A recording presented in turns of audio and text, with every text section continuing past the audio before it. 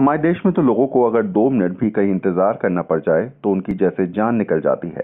खासकर अगर बात की जाए ट्रैफ़िक सिग्नल की तो देश के छोटे छोटे शहरों में तो लोग ट्रैफ़िक सिग्नल को फॉलो करते ही नहीं हैं।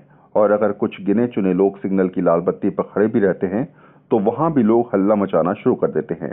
लाल बत्ती होने के बावजूद लोग हॉर्न बजाना तो बंद ही नहीं करते हैं। इतना ज़्यादा शोर करते हैं कि सामने वाले के कानों से ही खून निकल जाए। लेकिन हम आपको आज एक ऐसे ट्रैफ़िक जाम के बारे में बताने जा रहे हैं जो पिछले सत्तर सालों से लगा हुआ है। जी हाँ सुनकर आप भी हैरान हो जाएँगे, लेकिन ये सच है। वैसे, आपके दिमाग में भी ये सवाल तो आ ही रहा होगा कि सत्तर साल से लेकर अब तक ये ट्रैफ़िक जाम खुला क्यों नहीं है? और उसमें फंसे लोगों का क्या हाल हो रहा होगा? तो हम आपको इस जाम के बारे में बता देते हैं। ये ट्रैफ़िक जाम बेल्जियम में लगा था, जिसमें फंसी सभी गाड़ियाँ आज तक बाहर नहीं निकल पाई। ये जाम बेल्जियम के जंगल में लगा था, जहाँ आज तक 500 से भी ज़्यादा कारें फंसी हुई हैं। हैरान करने वाली बात यह है कि आज तक इन सभी कारों के मालिक भी अपनी कार लेने नहीं आए।